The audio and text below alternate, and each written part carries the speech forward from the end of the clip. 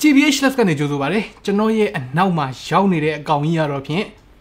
Ryzen 9 3900X ပါတဲ့ high end desktop ကြီးတစ်လုံးပဲဖြစ်ပါတယ်ဆိုတော့ကျွန်တော်ဒီနေ့ပြောပြပေးသွားမှာက Ryzen 3အကြောင်းနည်းနည်းပါမယ် 3900X အကြောင်းနည်းနည်းပါမယ်ပြီးတော့ကျွန်တော်တို့ဒီနေ့ရဲ့ sponsor ဖြစ်တဲ့ ASRock ရဲ့ X570 Phantom Gaming X3 ရဲ့ Phantom X570 platform နဲ့မှာဆိုလို့ရှိရင် flagship အဖြစ်ဆုံးပြောမယ်ဆိုလို့ရှိရင်တော့ ဆရာအကြဆုံးမာသာပုတ်ကြီးကို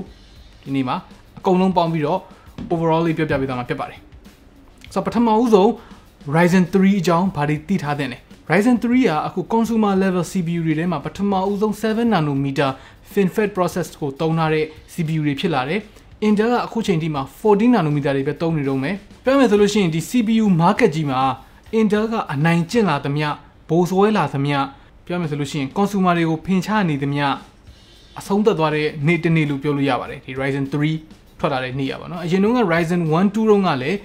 Intel ကိုနည်းနည်းပပတော့လှုပ်ခါလိုက်နိုင်တယ်ဒါပေမဲ့လုံလောက်အောင်ဖြစ်မသွားဘူးဒါပေမဲ့ Ryzen 3မှာတော့အဲ့ဒါပြောင်းလဲသွားမလားအဲ့ဒါကိုချက်ပြပြချင်ပါတယ်ဆိုတော့ဒီနေ့မှာတော့ကျွန်တော်က Ryzen 7ကို emphasize လုပ်မှာမဟုတ်ဘဲနဲ့ Ryzen 9ကို emphasize လုပ်မှာပါဆိုတော့ 3900X ဖြစ်တဲ့အတွက်အခုလောလောဆယ်ထွက်ထားသမျှ Ryzen ထဲမှာတော့အမြင့်ဆုံးပဲပြီးသွားရင်တော့ 3950X လည်းထပ်ထွက်လာမယ်ဒါပေမဲ့ ဟွန်းအဲ့ကောင်လေးထွက်လာလို့ရှိရင် review လုပ်ဖြစ်ရင်တော့လုပ်ဖြစ်မယ်ပေါ့နော်ဆိုတော့ကျွန်တော်တို့ Ryzen 3900X အကြောင်းကိုနည်းနည်းပြောပြမယ်ဆိုလို့ရှိရင်ဒီကောင်က12 core 24 thread 70 megabyte cache 4.6 GHz အထိ boost clock ဒါပေမဲ့ဒီအတိုင်းပဲ OC လုပ်လို့ရမယ်ဈေးနှုန်းကတော့ MSRP ကတော့ဒေါ်လာ900ပါမြန်မာနိုင်ငံမှာတော့ဘယ်ဈေးရှိမယ်အတိအကျမပြောတတ်သေးဘူးဆိုတော့သိရပြီဆိုလို့ရှိရင်လည်းကျွန်တော် description ထဲမှာတစ်ချက်ဝင်ရေးပေးထားပါမယ် ဆိုအတူချုံပြောရမယ်ဆိုလို့ရှိရင်ဒေါ်လာ900ချင်းအတူတူသူနဲ့ဈေးတူတဲ့ Intel ရဲ့ Core i9 9900K အခုလောလောဆယ်ကျွန်တော်တို့ရဲ့ studio မှာ main workstation အဖြစ်ထားထားတဲ့ CPU ထက် multi threaded performance မှာ25ရာခိုင်နှုန်းကနေ40ရာခိုင်နှုန်းထိပိုကောင်းပါတယ်တော့ကွာတယ်ပါပဲအဲ့တော့ကျွန်တော်တို့လူမျိုး 9900K သုံးထားတဲ့ကောင်တွေကထိုင်အောင်ငိုနေရမှာလားအဲ့ဒါကိုဒီနေ့အဓိကစမ်းသွားမှာဖြစ်ပါတယ်ဆိုတော့ကျွန်တော်ပထမဦးဆုံး video editor တွေကိုကြိုပြီးတော့ပြောပြချင်တာကတော့ video editing အတွက်မှာတော့ 25ရာခိုင်နှုန်းကနေ40ရာခိုင်နှုန်းလောက်အထိပိုတော့မမြန်သွားဘူးအဓိကအားဖြင့်တော့ Premiere Pro user တွေဆိုရင်တော့ကျွန်တော်ပြောတဲ့စကားပုံမှန်ပါလိမ့်မယ် Premiere Pro ကအခုချိန်ထိမှာ Intel ရဲ့ Nvidia ရဲ့အဲ့နှစ်ခုကို favor ပေးနေတော့မှာ hardware ကဘလောက်ပဲမြန်မြန် software က favor မပေးလို့ရှိရင်လည်းလကားပါပဲဆိုတော့အဲ့ဒါကျွန်တော်တို့အရင်နှစ်တုန်းက Threadripper တွေ Ryzen တွေမှာဖြစ်ခဲ့တဲ့ပြဿနာပါအဲ့ဒါကြောင့်မို့လို့ကျွန်တော်ကိုယ်တိုင်လည်း Intel ရဲ့ 9900K ကိုရွေးပြီးတော့ဝယ်ခဲ့တာပါ ဒါပေမဲ့တကယ် raw performance နဲ့ဆိုင်လာပြီဆိုလို့ရှိရင်တော့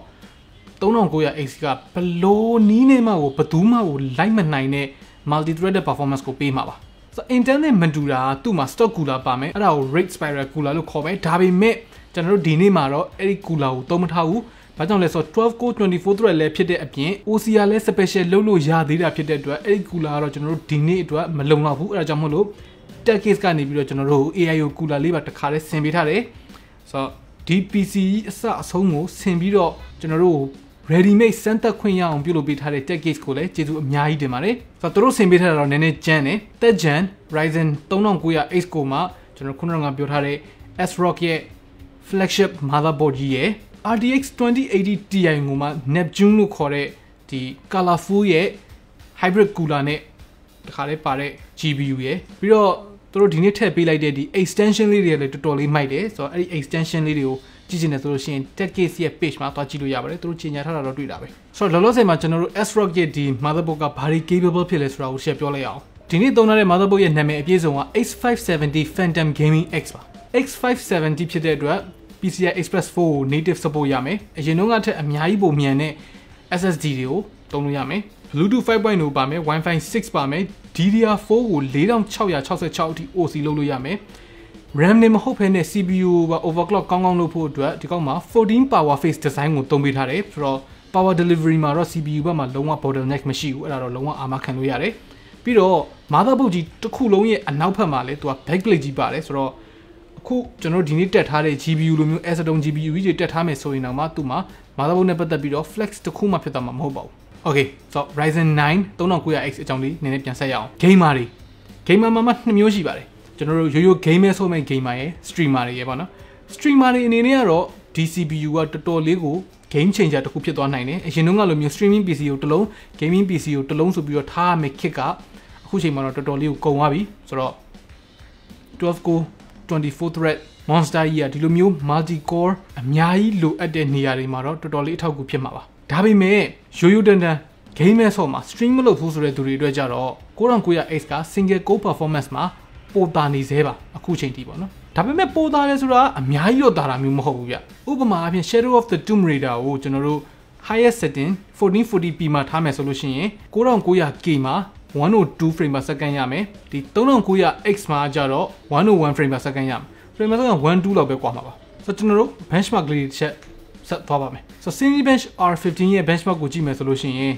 9i9 9900K က stock မှာ1885မှတ်ရပါတယ်ဒါ stock ပေါ့နော်နှစ်ခုလုံးကိုကျွန်တော် stock ပဲပြောပါမယ် Ryzen 9 3900X မှာကြတော့3090မှတ်ရပါတယ်တော်တော်လေးกว่าတယ်အမှတ်ပါဒါပေမဲ့ကျွန်တော်အရှိတုန်းကပြောထားသလိုမျိုးပဲ hardware အရ raw performance အရာတော့အများကြီးတာနေတယ်ဆိုပေမဲ့ဒီကောင်ရဲ့12 core 24 thread ကိုလက်ရှိမှာ application တော်တော်များများလည်းအကောင်းဆုံးအသုံးမချနိုင်သေးဘူး software တချို့ကလည်း Intel ကို favor ပေးနေတဲ့အနေအထားမျိုးတွေရှိတယ်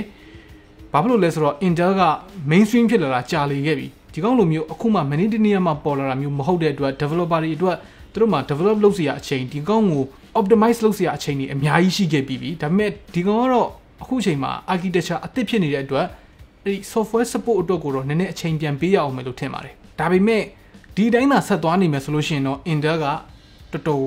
မချောင်ပါဘူးတော်တော်မစားတာပါဘူး အဲဒါကြောင့်မို့လို့လဲ 9900K တွေကနိုင်ငံတကာမှာဆိုလို့ရှိရင်ဈေးတွေတော်တော်လေးရှုံနေကြပါပြီ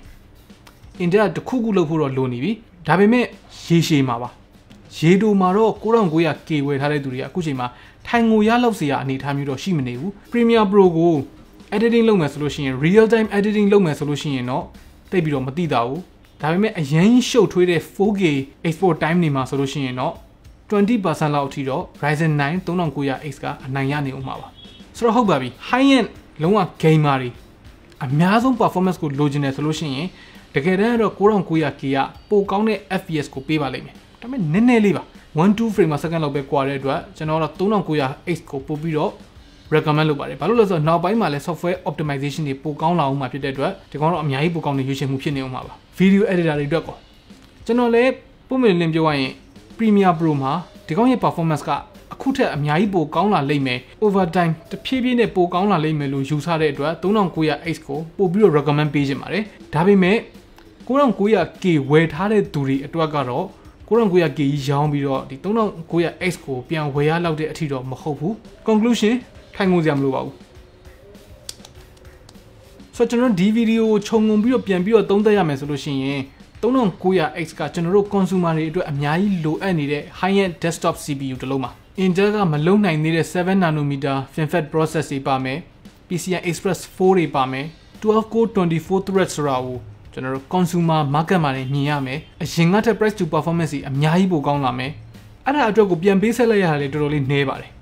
ဥပမာအဖြစ် single core performance မှာ 9900K ကိုမမီသေးဘူးဆိုပေမဲ့